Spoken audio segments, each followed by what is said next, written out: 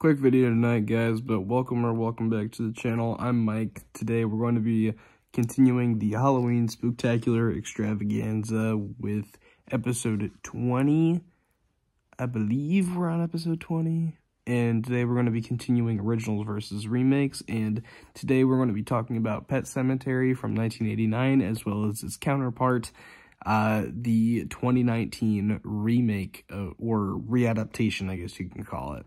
So the original film follows a family who moves into this new house and um, they find that there's an Indian burial, burial ground uh, behind their uh, house that basically, you know, is able to resurrect, you know, beings like usually used as like you know animals and whatnot and uh when you know push comes to shove and um animals die humans die it's up to the family to um use this ability for good or possibly evil and i love the original pet Sematary. i think it is a fantastic um, film, very creepy, um, scary concept that just gives you chills when you watch it. And um,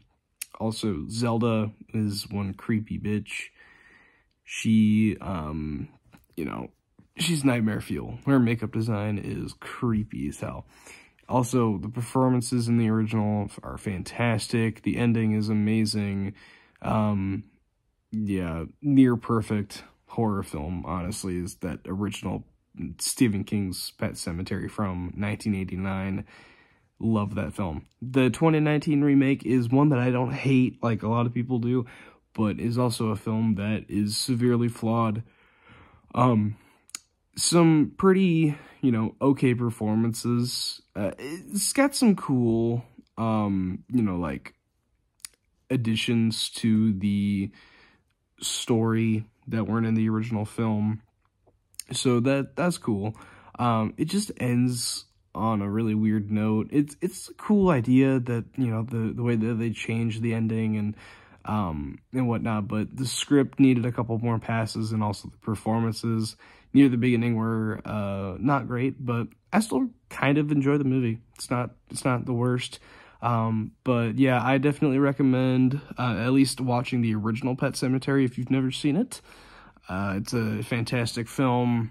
Of course, you know, amazing performances. Definitely, definitely recommended. And also the 2019 remake. If you enjoy the first one enough, check it out. I think you might have a decent time with it. I know um, some people even prefer it to the original, which I don't personally, but um, I know some people would and some people don't like it at all, but I still think it's worth a watch at least once. So yeah, let me know if you guys have seen the Pet Sematary films down below in the comments section and let me know your thoughts on them as well. Uh, I uh, hope you guys liked this video, and if you liked them, make sure to like and subscribe before you leave, and I'll see you guys next time.